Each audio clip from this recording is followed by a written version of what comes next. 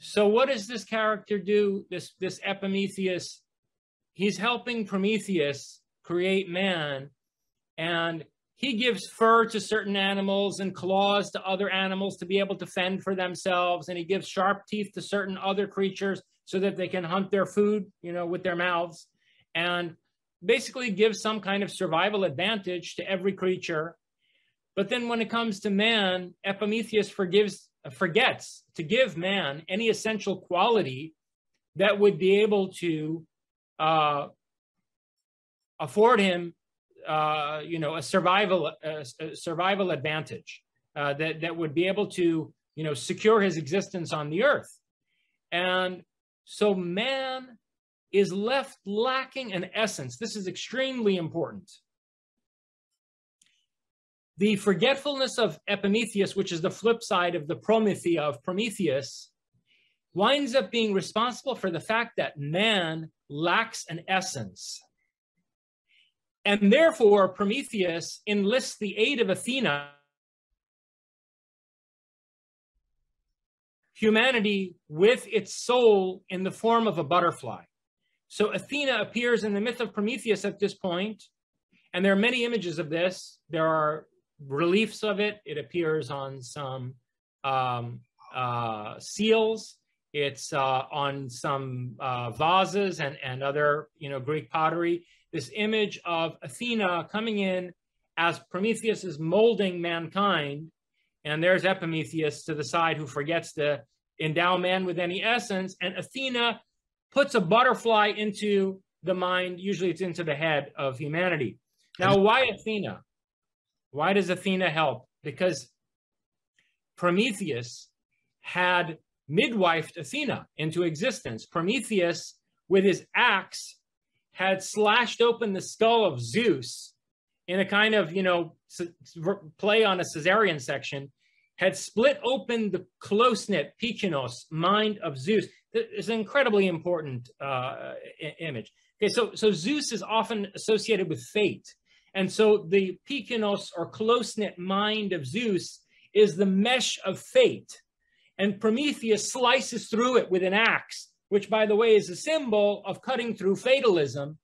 And Prometheus delivers Athena from out of the skull of Zeus. And who is she? She's the goddess of wisdom and war. I was just going to say something. She, yeah, because in the in the Gnostic text, you have this you had this um, understanding of Yahweh thinks he created humans, but really he was in a, he think somehow he had a dream or he thought he created Adam, but really it was Sophia wisdom that did it. And she's she looks at him like you don't even know I'm the one who did all this. And then and, and but what's even crazier is that the Gnostics who get called heretics for this, they're pointing to the Bible itself and saying, "No, no, no. The book of Proverbs says that Sophia was there from the beginning. Uh, the the um the wisdom of Solomon says Sophia created the first uh, father. So like this is accurate as far as the scriptures say, not just making this stuff up. And then it lines up with what you're saying, Athena being a, uh, Sophia as well, and then the Titan of wisdom, creating mankind. So even the even the Yahwists have some of their own sources, right, putting this stuff in there and sort of snitching on themselves. Absolutely, absolutely. So that you have the prototype for the Sophianic figure in, in Athena, who uh, is the goddess of wisdom and war. Why wisdom and war? Because you cannot gain wisdom without going to war. Mm. Because Zeus wants us ignorant. The Olympians don't want us to be wise. They are the prototype for what later become the Gnostic archons. And so to seek wisdom is to be prepared to go to war against the gods.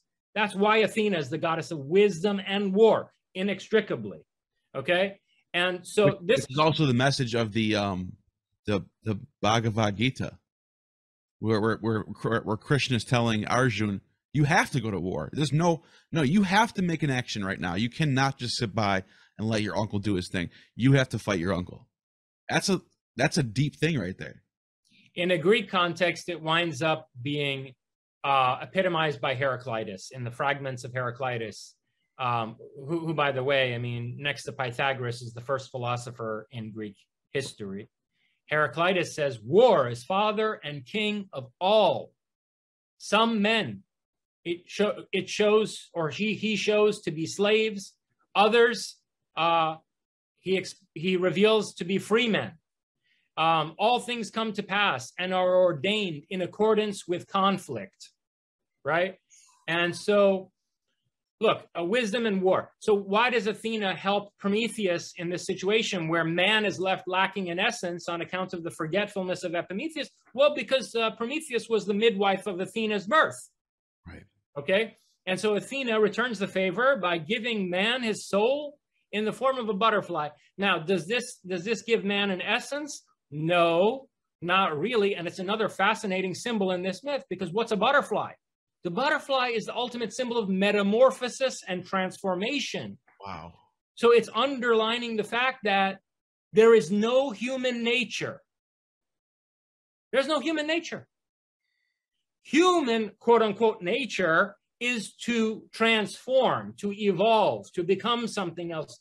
We are beings of radical becoming.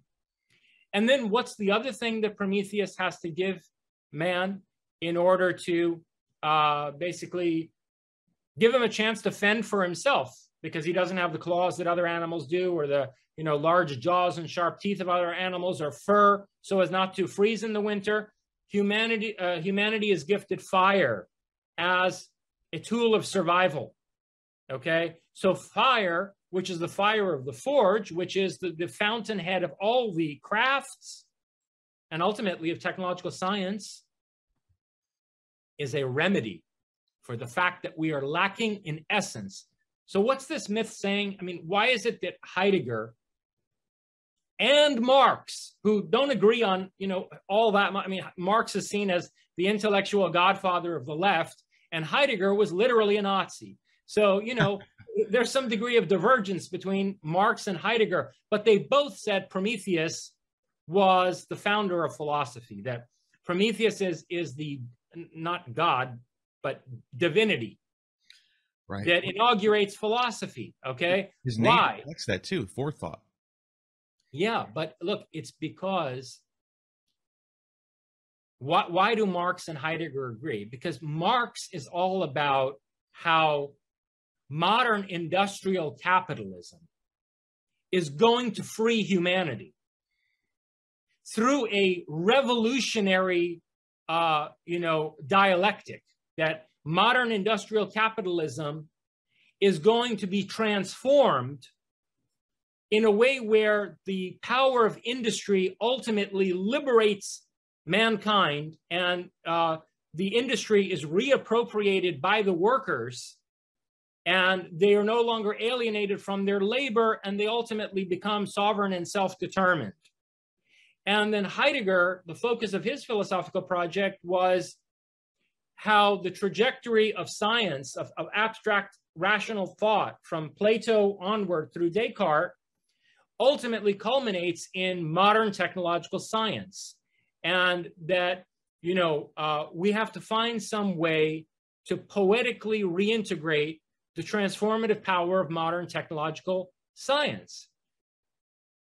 So you know, ultimately, what Heidegger saw in the myth of Prometheus has a lot to do with the fact that fire and the butterfly were the two uh, remedies for mankind being lacking in an essence, in the sense that we, uniquely among all animals, define our own essence, our existence precedes our essence.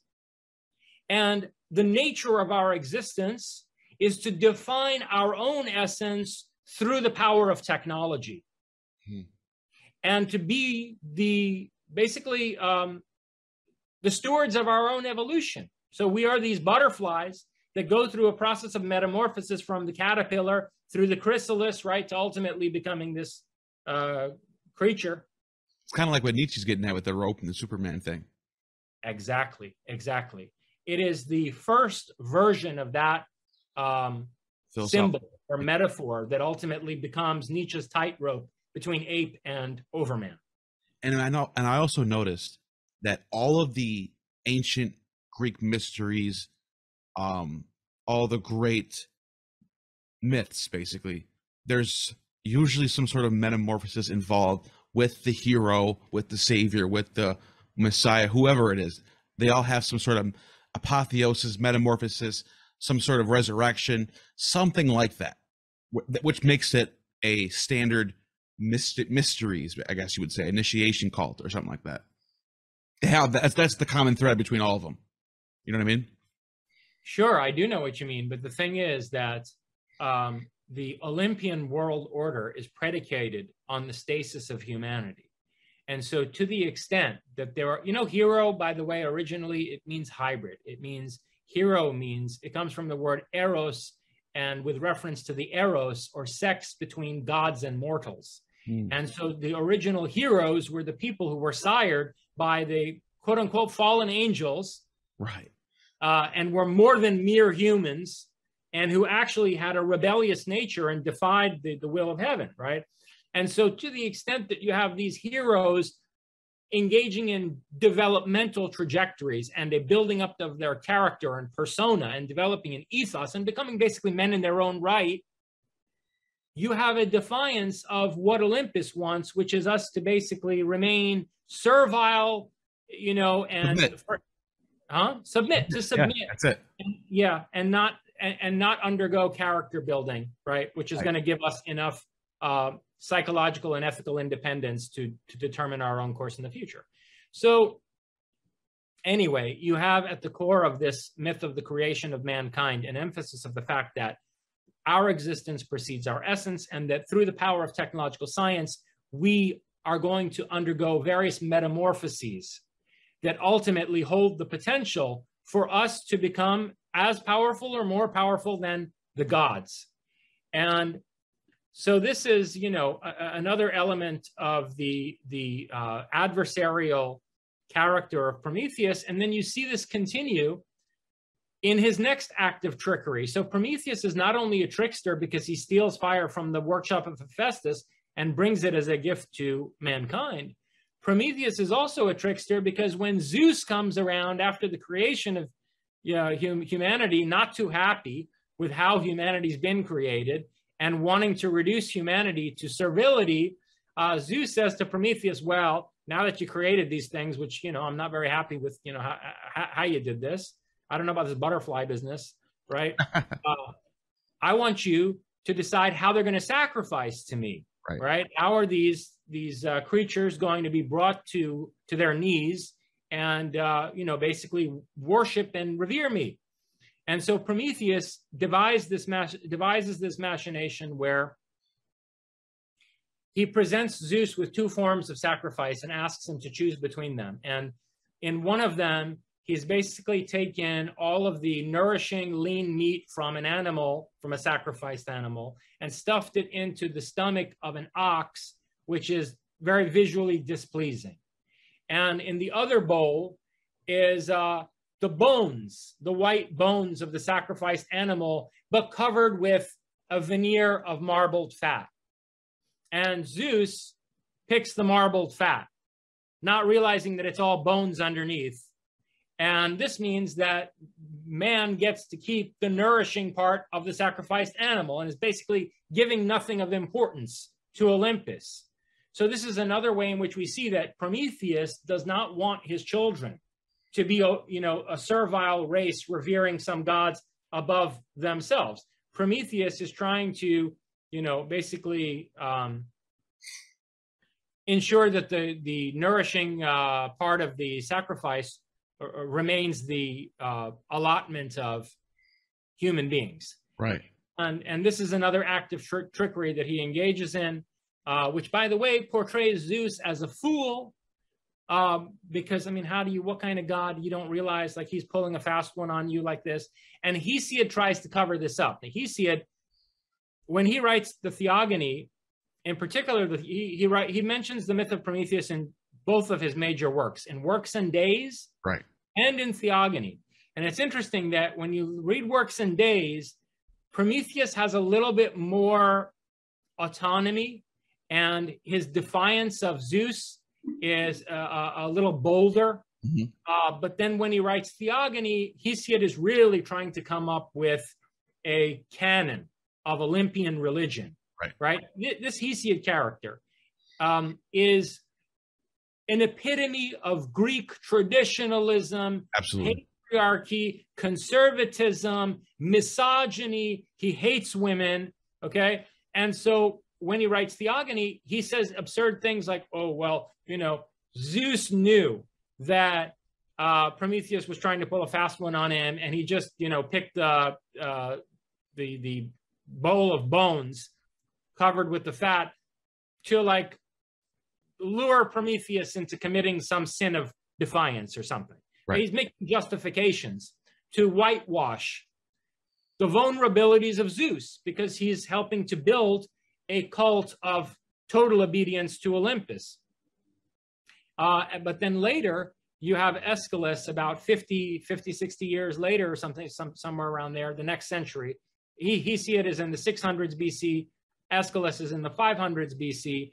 Uh, by the time Aeschylus turns Prometheus into the first figure of Greek tragedy, you see the more um, humanist and rebellious uh, elements of the myth yeah. being, uh, you know, basically uh, restored to what was probably their original form. And I noticed in that in this particular version with Aeschylus, I want Aeschylus. Aeschylus is very fascinating because I know he's initiated in all these mysteries. He gets in trouble. He almost gets killed for spilling the beans of what these mysteries are. Well, anyways, before we even get to that, I noticed that in that text, he really has this long dialogue between Hermes, who's sort of a tempter. He's the mouth word. He's the logos of Zeus. He's the word. He's the he's the messenger of Zeus, basically. Zeus is won't see him. He's like, why can't Zeus come himself? And I and I noticed that Prometheus is like antagonizing him, and Hermes is tempting him. Oh, we'll, we'll let you go. Just you know, just bend the knee. Just bend the knee. And and Prometheus, Prometheus refuses to cave into the tempter. What is this about? He's the angel Gabriel. Ooh, that's awesome. Hermes is who later becomes Jibrail, you know, or the angel Gabriel. Who ah, that makes a lot of sense. Brings the Quran to Muhammad, you know, and so on and so forth. And um, so this this uh, messenger of God, uh, the announcer, um, comes and basically, or Thoth, you know, comes and basically he, he tries to okay he's not just tempting uh, uh, prometheus. He's trying to torture a secret from out of him because when prometheus is bound by zeus it's not just a punishment it is a torture that's intended to break prometheus so that he reveals the secret of who is going to overthrow zeus. Prometheus with his forethought and by the way the mother of prometheus is Themis not to be confused with Thetis, who we're going to talk about momentarily. Yeah. But Themis, um, uh, the the Titaness, is the mother of Prometheus, and she was the creator of the Oracle of Delphi, which she later gives to Apollo. So the prophetic power that's associated with the Oracle of Delphi is also somehow um, implicit in the myth of Prometheus, uh, because Themis, the creator of the Oracle of Delphi, is the mother of Prometheus. So, so anyway, Prometheus, with his prophetic power and his forethought, the kind of forethought and uh, projection that also becomes instrumental to technological science, right? Technological science is all about projection. And so Prometheus, with his power of projection, his forethought, and his prophecy, knows who is going to eventually overthrow Zeus. And it turns out that it is uh, the soul who later winds up being born as Achilles. And what Prometheus knows is that Zeus is going to rape Themis. You know, Zeus is a serial rapist. He just turns into all these various animals and goes down and basically rapes these women, these, these poor women. Uh, and Prometheus knows that one of these women is going to be famous, and so Achilles is going to be born as a a proper hero, a hero in the old sense of a hybrid. He's going to be a demigod. And this demigod version of Achilles is going to lead humanity into rebellion and overthrow Zeus and uh, be a new sovereign over humanity, a much more beneficent, much more humanitarian um, ruler from the, the throne of Olympus. And uh, later, what winds up happening is that actually Zeus finds out that this is uh, going to happen. And so um, Zeus has, uh, or Zeus basically pulls back and lets Themis be married to Peleus, who becomes the human mortal father of Achilles. And then we have the whole story of Achilles and the Iliad. Right. Right. Uh, so, so, but this Achilles was supposed to be born as a demigod, and Prometheus knows this, and he wants to torture this out of. Uh, I mean, yeah, I mean, Zeus wants to torture this out of Prometheus, and so he keeps sending Hermes he keeps sending Hermes to try to, you know, convince Prometheus to give up this secret. While we're on this, though, let me point out why, why is it significant that it's Achilles? And by the way, I discussed this at length in Prometheus and Atlas. This is, you know, the devil's really in the details here. And I go into the Iliad and its connection to this part of the myth of Prometheus um, in my chapter on Prometheus in Prometheus and Atlas. If you look at the character of Achilles in the Iliad, his conflict with Agamemnon and the defiant stance that he takes amidst the Trojan War shows you the first figure in Greek literature who is questioning the social order. In archaic Greece, there was no conceptual distinction between social order and nature. Hmm. Nature was framed as a concept by the early philosophers who are writing about 150 years at least after the Iliad, at least. In the time of the Iliad, in the time of quote unquote Homer, whether there was actually a Homer who wrote this or whether he was a bard who later recited it, whatever. In the time of quote unquote Homer, there was no conceptual distinction yet between nature and the nature of things in society it was believed that customs were God given the way that, you know, the, the seasons are God given, the way that the habits of animals are God given. Social institutions are just the way things are, and they can't be questioned any more than, you know, the way the birds and the bees live are, right? It's all just the way things inevitably have to be. Right. And so when you see Achilles in the Iliad basically call bullshit on Agamemnon and confront him as an unjust, tyrannical ruler and a bad commander, and stand up for himself pridefully, some would say with hubris, the kind of hubris that we see from Prometheus, mm. ultimately. Right. You are seeing the first questioning of the social order and an implicit framing of the concept of justice. Wow as opposed to the way things just are. So Achilles is saying, sorry, fuck that. Things shouldn't be this way. They should be some other way. Right. And this is the kernel of the idea of utopia right here in the figure of Achilles. So, what's being said in the myth of Prometheus, where Prometheus knows that it's Achilles who's going to overthrow Zeus if he's allowed to be born as a demigod, is that there's a connection being made back to the story of the Iliad mm. and to the first framing of a just order as opposed to the de facto order of the world. The first aspiration for utopia. That is also uh, part and parcel of this part of the Prometheus myth. It's the birth of progressivism.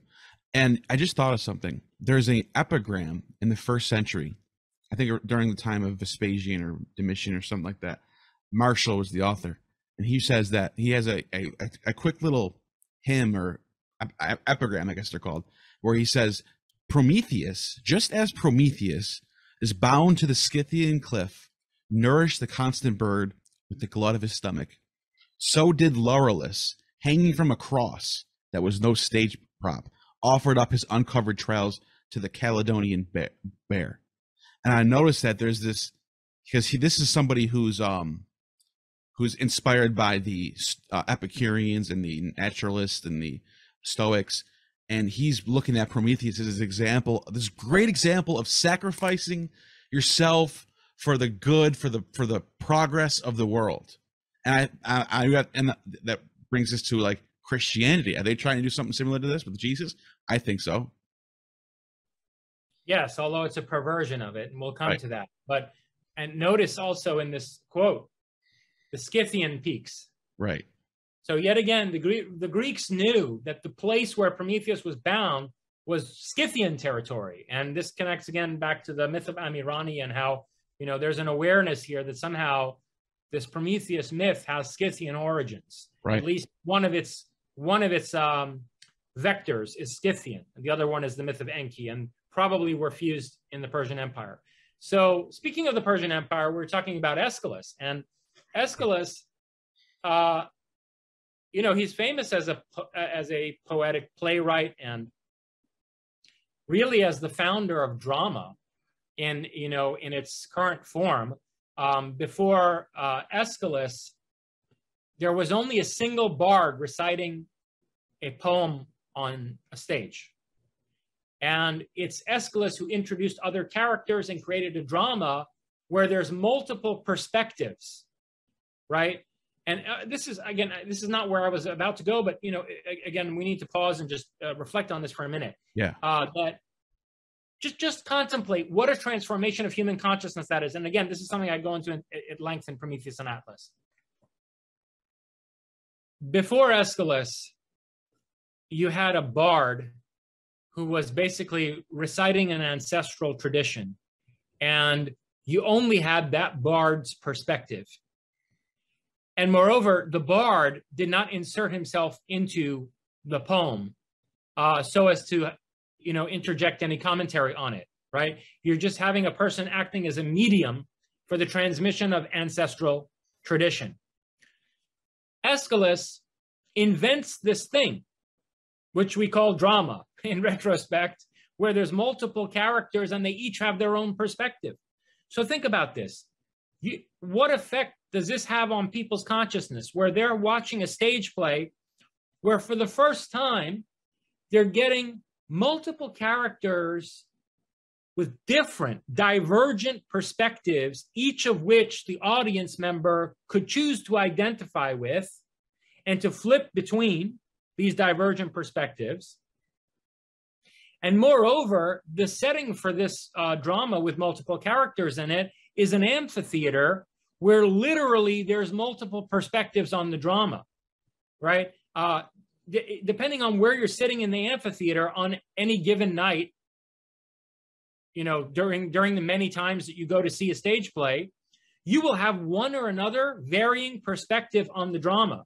So there's the, the perspectival shift between the various characters and then the perspectival shift in terms of geometry, uh, pers- you know, um, perceptual geometry of the audience member sitting in an amphitheater. And lo and behold, this is the moment when we go from really stiff Egyptian style sculptures in Greece to photorealistic three dimensional sculptures in Greece. Mm. Okay, with that extremely, uh, you know, true to life, high precision that classical Greek sculptures are famous for. Right. You think that just happened by accident? No, what happened because you had uh, sculptors who were sitting there in amphitheaters watching stage plays from varying perspectives on different night, different evenings, and they discovered perspective, mm. both geometric perspective and also psychological perspective, by flipping between the viewpoints of different characters in a drama. Aeschylus is responsible for this. And which is the first of the dramas that Aeschylus composed? Who is the first figure of tragedy? Prometheus. Right.